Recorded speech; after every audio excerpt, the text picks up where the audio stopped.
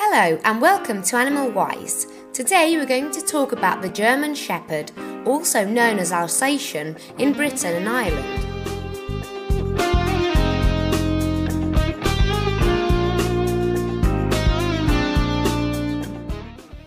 The story of the German Shepherd dates back to 1890 when cavalry captain Max Emil Frederick von Stephanitz began to follow his dream of developing a noble looking working breed.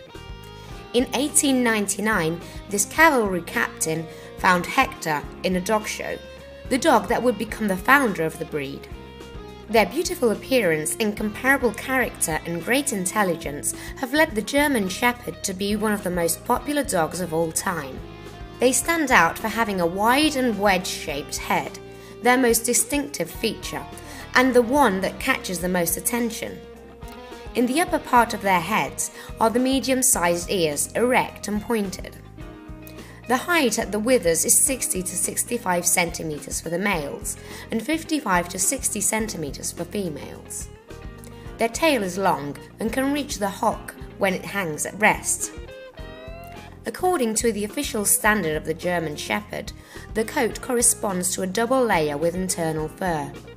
The outer fur should be as dense as possible, straight, hard, and well attached to the body. Among the colours of the German Shepherd, we find solid black, black and tan, yellowish, and even grey in various shades. The character of the German Shepherd is balanced, confident, and reliable. The courage of these dogs is legendary, as is their defense instinct. But courage and defense are not the same as aggressiveness and danger. Although the German Shepherd tends to be somewhat distrustful of strangers, they are not an aggressive dog breed by nature. On the contrary, they tend to be alert but do not attack without reason. The German Shepherd is an easy dog to train and reaches their full potential when trained through positive reinforcement. They are excellent companions for any family that gives them good care and attention. It is not a dog that can spend long hours alone, it needs a live partner to stimulate them constantly. German Shepherds can adapt to living in an apartment, but they need a lot of exercise and long walks. They are agile and active and need to exercise their muscles outdoors. A small garden can help, but it should never replace the walks and play sessions that you should have. Practicing any type of canine sport, such as agility, can help maintain the dog's health. The training of the dog is also important to help develop the intellectual capacity of the dog.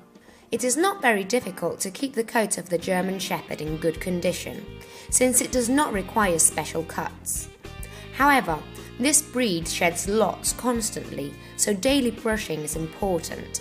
Bathing should not be very frequent because it damages the natural protection of their hair. Every month and a half or every two months will be enough.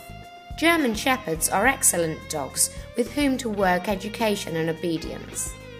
Their natural predisposition and great intelligence make it inevitable for us to want to discover and explore all their abilities. As with all existing dog breeds, the puppy's education will have a major impact on the future adult German Shepherd. This is why it will be essential to work quickly in the development of the dog. Socialization, stimulation of the senses, and intelligence games. A good education will help us avoid the appearance of behavioral problems. In the adult stage, it will be basic to work obedience and tricks in a very regular way to keep the dog mentally healthy. It is very important to consider this point before adopting a German Shepherd. We are facing a very intelligent dog that should be able to enjoy an adequate life. In their education and training, we must include many environmental enrichment sessions, all based on positive reinforcement.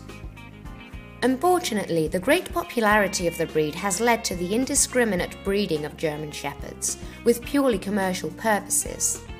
This procedure has had a negative impact on the breed. Therefore, the German Shepherd is prone to some hereditary diseases such as hip dysplasia, elbow dysplasia, digestive problems, epilepsy, chronic eczema, keratitis, inflammation of the cornea, and dwarfism.